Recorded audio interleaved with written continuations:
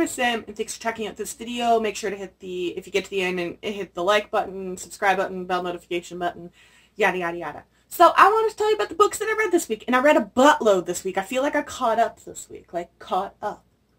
That being said, I did read a total of six uh, books, um, so it would be a long one, but one of them I did read was Wicked Saints. I want to do an own video review for it. Someone also asked me to do a video specifically of just the Wicked Saints review. So I'm going to do that. Um, it should be coming up in the next week or so. But like, gist of it was I loved it. This week I read The Dead Queens Club by Hannah Capin, which is a contemporary Henry VIII retelling with a little bit of Mean Girls sprinkled in. So it's set like regular town in the U.S. high school. Henry has daddy issues. Shocker. He's a teenage boy, super popular. So he goes through these girlfriends who all have the same name as the real Henry VIII's wives. Catherine of Aragon, Anne Boleyn, oh, is it Catherine Parr? No, Jane Seymour, Catherine Parr, Parr, I think there was a Howard, and then the one that survived, outlived him. Either way, he had six wives. We go through that. And just as in real life, Anne Boleyn ain't alive in this one, okay? There are some sketchy circumstances around why she's no longer alive, which mimic a lot of the history. In university, I went in and got my history degree, my BA, and I originally went in wanting to do the Tudors, and I like, and then being like, oh, I'll do English history. I feel like the Tudors are like the I don't know, the Romanovs of English history. I feel like everyone else after them was like kind of a little boring or super repetitive. Whereas like, and then I switched to Russian history. I was like, oh my god, Russian history. Why did I think it was boring? It's absolute psychoticness. So I switched basically to Russian history. I it I I could really appreciate the the, the little details that she threw in here. She didn't just name all the girlfriends after the wives. She gave them distinct personalities. She tried to mimic or mirror their um, their what happened to them in in a contemporary setting as much as possible. I, I ended up giving this like three and a half or four out of five stars. I'm still kind of teetering in between. Ugh, I don't know how to, how to quite put this. So the whole time we're basically getting the perspective of Cleveland, who's supposed to be Anne of Cleves. If I hadn't said Anne of Cleves when I was thinking of the wives, I don't know why I didn't. Anne of Cleves. So she is basically the Anne of Cleves. She is the best friend of Henry. They met at summer camp, um, and she is kind of there through thick and thin trying to help him. Um, and we pick up after Boleyn's been killed and after he's dumped the first girlfriend and after Jane Seymour's left, right? So we get a little bit of flashes from to like when they meet at the summer school and why they became friends. Um, and they have like a tiny bit of romantic history, but nothing major. But this evolves quickly from, I think the first half, I was kind of almost at the 50% mark and I was like, how are, what is, what is the rest of this book going to be about? Like, we're kind of, here. We should be kind of done. And then there's like this whole murder mystery aspect, which I was not expecting it to be it to be. And I loved that part. I feel like that was where it really caught its stride. It took like probably half the book to really introduce the characters and develop them and give you a sense of the setting and kind of get the sense that there's something wrong. There's people lying. Um, and you can't exactly tell who is lying. You just know that there's lots of people lying. It's very feminist too. It made me think a lot of Moxie. It does bring up uh, Cleves, uh, especially throughout it. Whenever she hears someone call like Anne a slut, she turns around and claps back of like, "Why are you slut shaming a girl when he's the one who's dated all these different women? You're assuming things about her. You don't know her. She's not even here to defend herself." Like there's a lot, and there's like this school newspaper where she wants to talk about all these issues, and her editor keeps shutting her down. And there, it, it just it gave me these hardcore Moxie the book by Jennifer Mathieu, Matthews um, vibe, which uh, I, I, really love that that was brought up. And I feel like it made me less angry than Moxie did. Moxie's supposed to make you angry, and it's a good book for that. But I can only be angry about so many things so many different times of the day. Like, it's exhausting. so I feel like this did a good job of, like, being like, oh, thank you for clapping back at that BS, but can, like, let's move on to the point like yes let's let's women support each other not tear each other down and let's figure out who murdered this one right? I think my really only issue with it was and I think it just really bugged me because the feminist parts of it were so like out there and obvious and like yeah don't slut shame each other. Why are we accusing this girl of doing something when this dude is sleeping around the school too? Like but then at the end like i'm not no spoilers but i feel like cleves i didn't buy the relationship at the end between Cleves and Harry. Like, it, it didn't seem to fit what happened. It didn't feel right. I, I just don't... And, and maybe that's because I'm like a, if I find someone's been lying to me or if people are talking behind your back or betraying people, like I just cut those people out of my life. Even if you're friends, even if you've been there for a long time, I just cut those people out. That's just kind of my personality. I don't tend to think twice about it. If that's the sort of person or situation or drama you want to be involved in, you're done. It may hurt, but I think in the long term it's always better. Um, and if those people want to change and come back into your lives, great. But I'm not putting myself through that. So I just feel like maybe that was why it kind of kept saying throughout the book when Anne was talking of Cleves was like, he's a douche. She's doing that. Like, why are you doing this? This is messed up. But it, I think it just, um, but then when, when someone said something problematic outside of Henry, she just kind of gave, like, immediately saw that. I don't know. I don't know how to explain it. Maybe if you read it, you'll understand it. But that part just kind of irked me and bugged me, and I don't know that it fit the book. Or maybe it did. I don't know. It really just messed with my head. I would actually recommend this one. May, if you've read this, please put below. I have my friend Muriel that she tried to explain it, and I still don't buy it. But if you can explain to me, if you've read this, and if you think the ending was a good one with Anne of Cleves and Henry, then like, please, please explain it to me. Then I also read The Afterward by E.K. Johnston this week. This is a fantasy standalone that picks up in this world after. It's the after of you know, when after Celaena Sardothien takes down this kingdom. It's the after when you've come back after, you know, saving or completing a quest for the king. It's the after, right? Now, it's it's set technically then. I enjoyed this book from start to finish. I loved the characters. There's a good female-female romance. I liked all of their character development and the adventuring.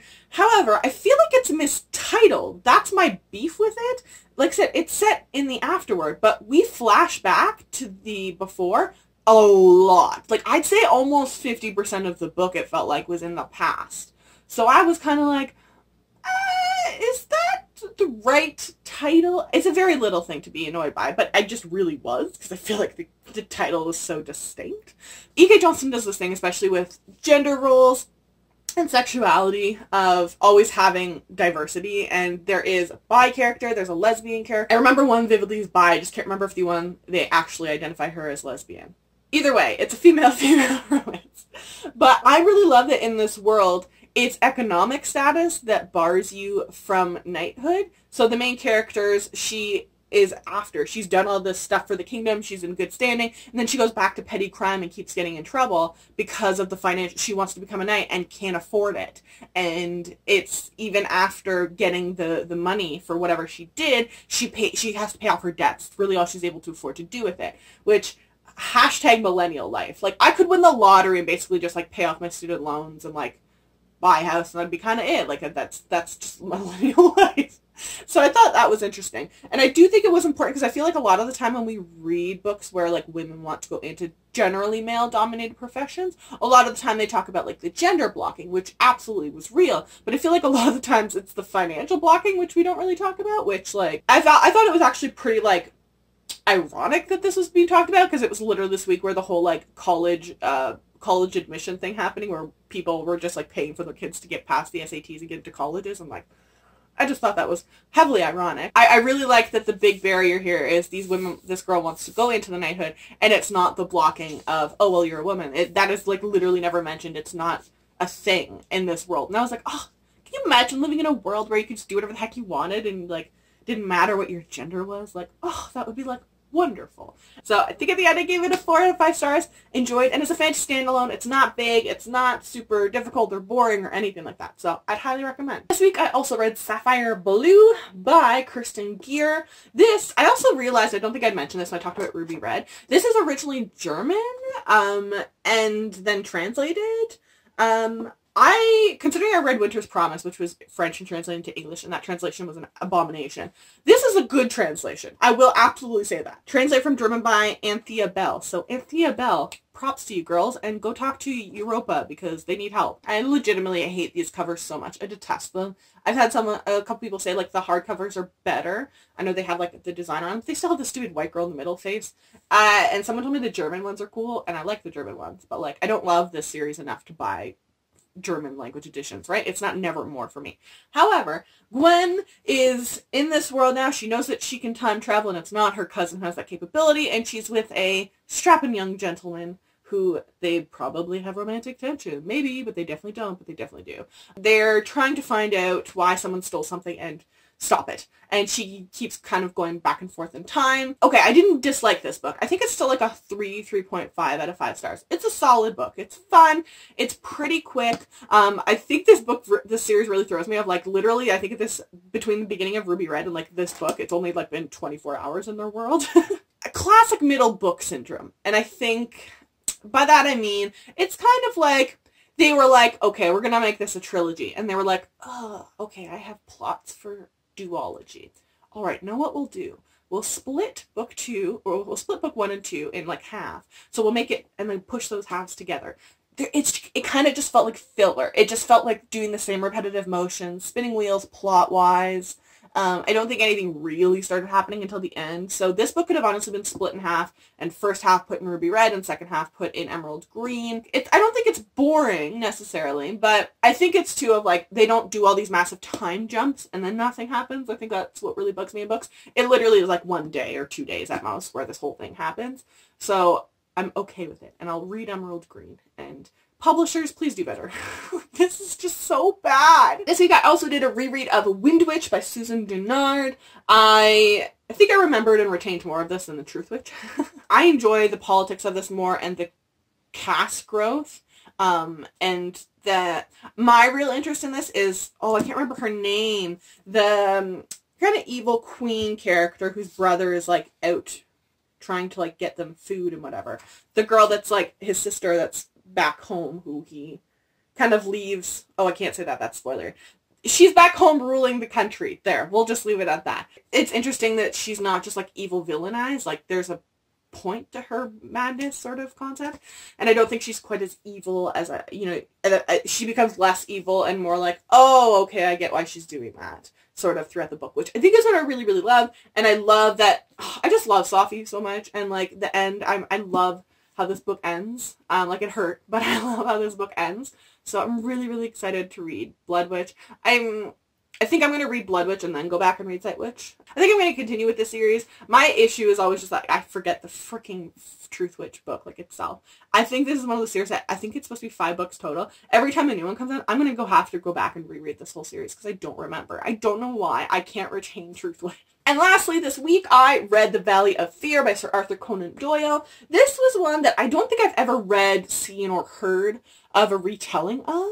If I have, it's it's not coming to my mind anyways. Um, I think this is, I was pleasantly surprised. I feel like what, some of them I was just like, meh, or some that like, that I hadn't heard of any retellings of, or I had just such, such high hopes for it because I had seen such good retellings, but I feel like The Valley of Fear was it was like good on its own and good on its standalone. I think I I, th- I feel like I've seen and heard and read that general premise since like in more recent releases, so I think that's kind of why it seemed tiny bit familiar to me. But I really like how Sir Arthur Conan Doyle like writes like from his perspective and then flashes back of like, oh, so this is why. Um, and then at the end we have this neat little bow kind of tied up. Um, not sto- not like for the characters, but the story itself is kind of comes back full circle, right? Um, so I really, really enjoyed that, and I think I didn't. I mean, I didn't rate it because I'm doing that whole anthology on Goodreads, but I'd give that one like a five out of five stars. I actually really, really enjoyed it. Um, compared to some of the other ones, I think that's probably one of my favorites that I've read so far. And next I will start his last bow, and I am like almost done this anthology, man. Like it's taken me a year and a half, but like his last bow is page 831. So like I have four no, 300 more pages basically. So very excited. And yeah, I, the Valley, uh, the the fear, the Valley, of, uh, Valley of Fear is is actually a really really good one. So those are all the books that I read this week. Let me know in the comment section down below what you read this week. I would love to know if you've read any of these, especially the Dead Queens Club. Help me out. Make sure to check the description box down below. I will link all of these books to their Goodreads pages and I will also link all of my social media. If you follow me, I will follow you.